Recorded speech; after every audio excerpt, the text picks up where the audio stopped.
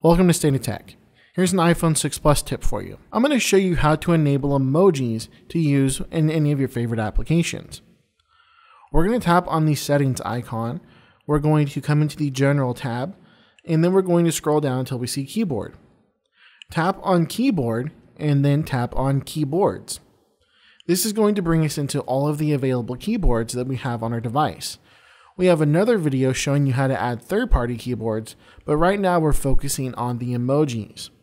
So you see I already have the emoji added, but if I tap the edit button, I can actually remove it from my list and then go ahead and tap on keyboards. We're going to tap add new keyboard. And what I'm going to do is scroll down here in this list, and then there's emoji. Now emoji's been re-added to my list of available keyboards. And now if I come into any one of my favorite apps that allows me to message someone, so if I come into Note, for example, I'll create a new note. There's my keyboard that's just been pulled up. And if I tap on the little smiley face next to the 123 in the bottom left hand corner, it's going to show me the emoji keyboard.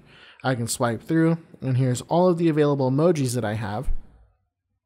Now, some of them I can actually change the skin tone. So on these little thumbs up icons, if I tap and hold, it's going to give me a list of all available skin tones that I can use for that emoji. By default, all of them will be yellow, but you can change the skin tone if you'd like to, or just leave it with the classic emoji feel of the yellow little tone. So now that I've got that set up, you see that the thumbs up has been added to my actual note out there, and I can continue swiping through and begin using all of those emojis and all I have to do is tap on the ABC in the bottom left hand corner and it brings me to my last used keyboard or if I had more than one keyboard set up it would take me to my next keyboard. So that is how you access and enable emojis on your iPhone.